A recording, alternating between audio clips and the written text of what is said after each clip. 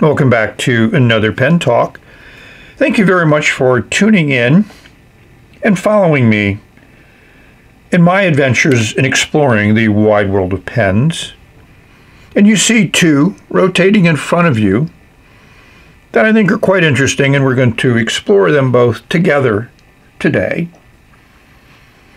One is a VAC 700R from TWSBI, and the other pen is also from TWSBI. It's an Eco in yellow. The Eco I got from uh, Pen Heaven, and the TWSBI VAC 700R I got from Penboy Roy. We did a swap of pens, and he sent me the 700R for a Pen BBS pen that I sent to him that he wanted. So I think these pens look nice on a turntable. They both have some interesting aesthetic value, functional value.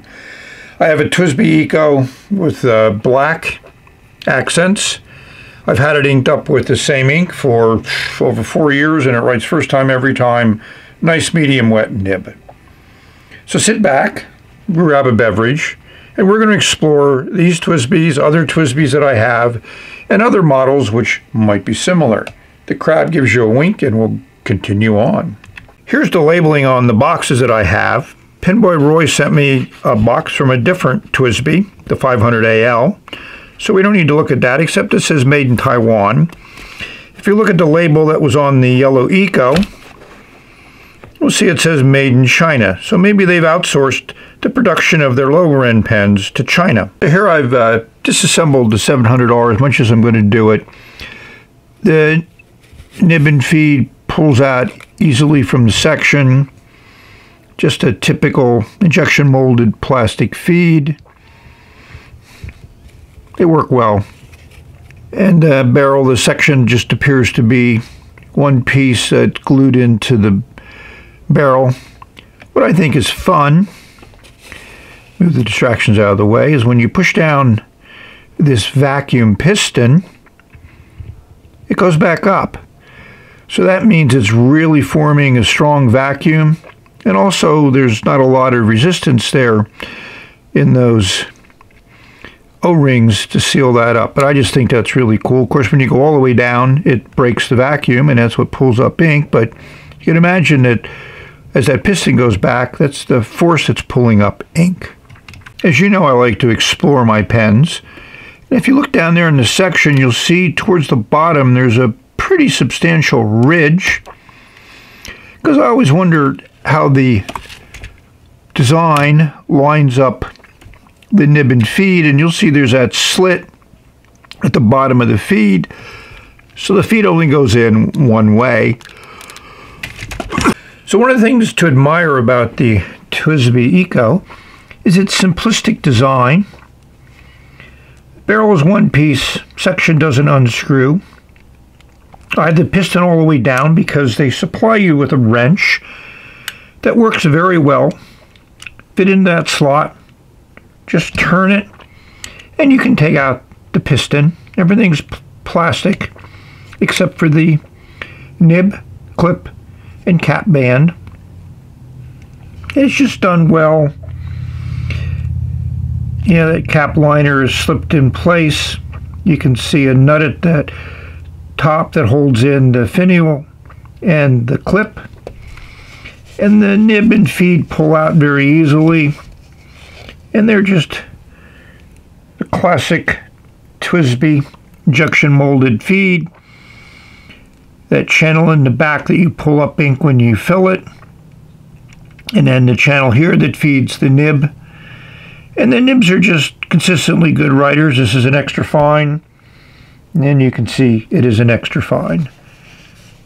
And it is a good acrylic, nice and clear. It's all injection molded plastic. TWSBI seems to have some types of issues with cracking like Jinhaos do. And to me, a lot of that has to do with, you know, the mold cycling, the resin that's used, the, the plastic. You know, there's a lot of things that can contribute to that instability. But if they cycle the mold properly and use a, a good resin, it should last as long as any other pen will last. So here are the TWSBI pens that I have in my collection. I think the first one was the Diamond 580. And I did do a video because it did crack in the typical location and TWSBI was very quick at responding and sending me replacement parts. So this now pen is back in its original condition. I'll give you a link to that video. But this pen never made my everyday carry, just didn't feel right in the hand.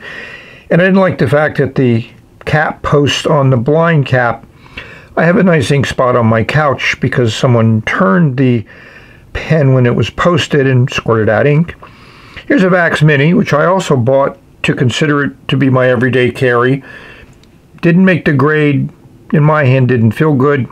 Here's a 700R, which I uh, got as uh, sent to me from Penboy Roy. I like the pen. Hasn't made my everyday carrier inked up.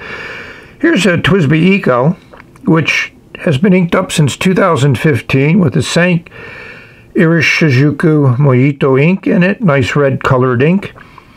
Always writes first time every time. I can leave it set for months and months and months, and I think that's an incredible feature, which I didn't expect. And here's the yellow Eco, just to round out my collection here.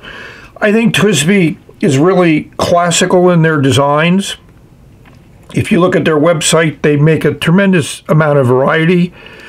They give you rose gold, they give you some interesting colors, and they price them accordingly. So I think it's great that they've been able to maintain some changes in their models for those people that like to collect everything of a particular model. I happen to be guilty of that, but not with TWSBIs. And I think they've done good at, at sticking with this classic design and giving you a lot of different choices if you'd like to keep that design in play, but still have more than one pen. So I give them credit for that. Well, here's an example of why I have too many pens. I totally forgotten about the TWSBI Aurora that I have, and it has been inked up since I got it. Don't write with it as much as I should. This I thought was a great pen that TWSBI made. They made something similar a few years later, but this thing is just substantial, looks beautiful. Cap comes off in a little over one turn. You have a nice black nib there. Number five nib, a lot of people said it should have been a number six, and I agree. Nice ink window. So this is turned acrylic. So it's a little bit different than the injection molded pens. But in the TWSBI tradition, they did an excellent job when they made this pen. Put a link to my review, so if you want more details, you can follow it. So we need to talk about TWSBI packaging. I think it's extremely well done. It's efficient, effective, and does the job it's supposed to do. Get a nice, just frosted plastic box. And on the back side, you have a list of all the parts of the pen. And you notice there are two O-rings. One's covered up by this label that I took from the side. I put it here because I want to keep it with the pen. So TWSBI gives you lots of lots of information. Here's a nice included pamphlet. Talks about disassembly, reassembly. You know, shows you pulling the nib and feed. It's just great. And shows you about, you know, how the ink comes out. You flip it over, you'll see an interesting statement that talks about the pen, the filling system, and the fact that there's a lot of ink in there and maybe a lot of air, and it could burp. Then if you go further into the packaging, there's even more instructional materials, disassembly, silicone grease, filling, and this little label that says no alcohol in the pen, which is good. You know, the, the pen's dry, no alcohol. And they give you silicone grease, they give you the wrench. Perfect. Everything you need to maintain and keep your pen. Enjoy your pen. And if you have any issues, TWSBI is excellent in responding. Great customer service. That's a lot of what you pay for when you buy a pen like a TWSBI. So this is the TWSBI I have inked up, which we will do a quick writing sample. just to validate what I mentioned before. You know, the cap band is nicely engraved, you know, the model on the back. This has a uh, plastic finial versus some of the other ones have uh, nice enameled finial. You pay more for that. You notice there's an O-ring here between the blind cap and the barrel.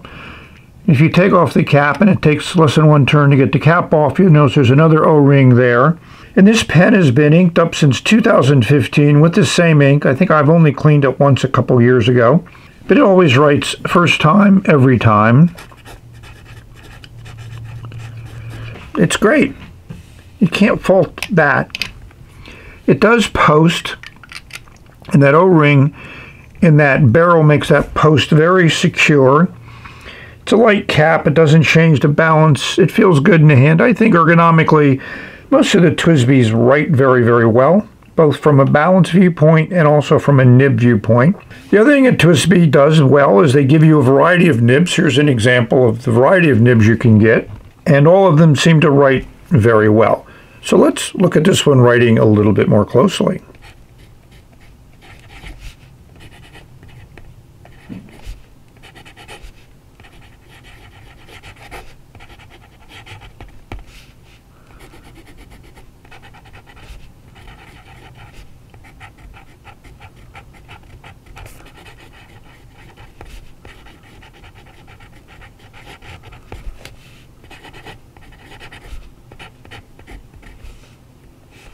So like I said, this pen has been inked up for a long time.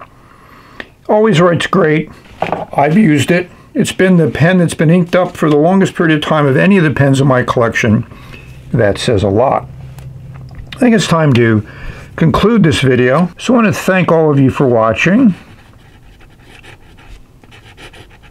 I hope this video finds all of you safe, healthy, and happy, enjoying your pens. Hopefully you have one as consistent as this in your collection. We've reached the end. We're going to say bye. Yep, very consistent, very pleasurable to write with.